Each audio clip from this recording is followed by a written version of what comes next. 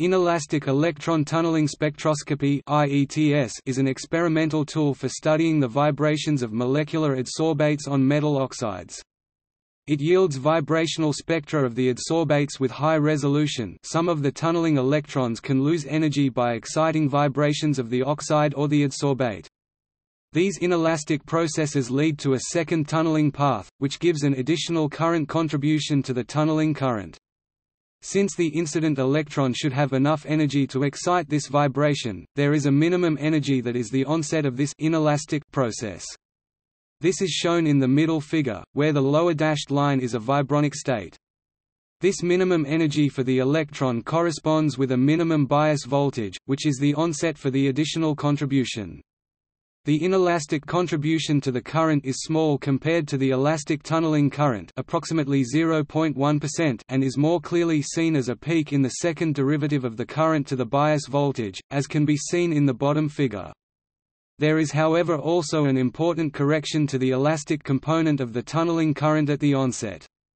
This is a second-order effect in electron vibration coupling, where a vibration is emitted and reabsorbed or vice versa. This is shown in the upper figure on the right. Depending on the energetic parameters of the system, this correction may be negative and it may outweigh the positive contribution of the inelastic current, resulting in a dip in the IETS spectrum. This is experimentally verified in both regular IETS and in STM IETS and is also predicted theoretically. Not only peaks and dips may be observed, but depending on the energetic parameters also derivative-like features may be observed, both experimentally and theoretically.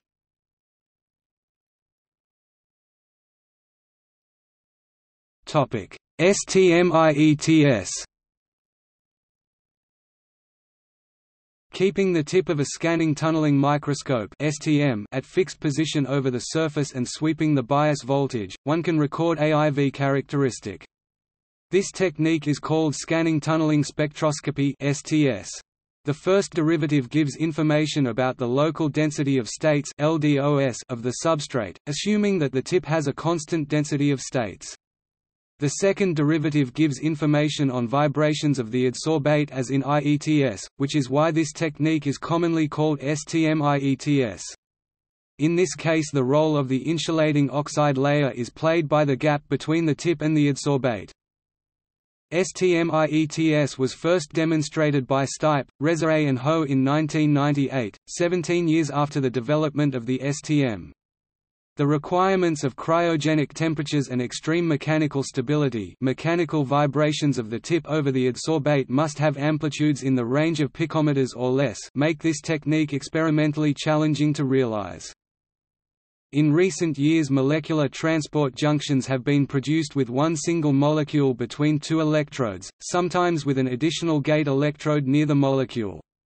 The advantage of this method in comparison with STM-IETS is that there is contact between both electrodes and the adsorbate, whereas in STM-IETS there is always a tunneling gap between the tip and the adsorbate. The disadvantage of this method is that it is experimentally very challenging to create and identify a junction with exactly one molecule between the electrodes. The STM-IETS technique was extended to the spin excitations of an individual atom by A.J. Heinrich, J. A. Gupta, C. Lutz and Don Eigler in 2004, at IBM Almaden.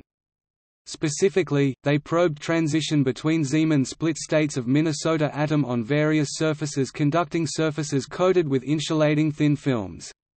The technique was later applied to probe atomic spin transitions of Minnesota spin chains of up to 10 atoms, assembled one by one, also in IBM Almaden in 2006, in a team led by A. J. Heinrich.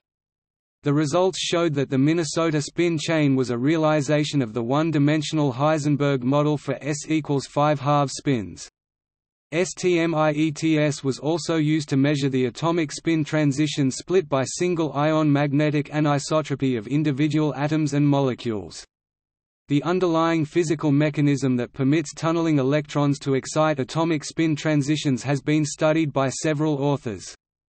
Whereas the most frequent mode of operation probes spin excitations from the ground state to excited states, the possibility to drive the system away from equilibrium and probe transition between excited states, as well as the possibility of controlling the spin orientation of single atoms with spin-polarized currents were also reported.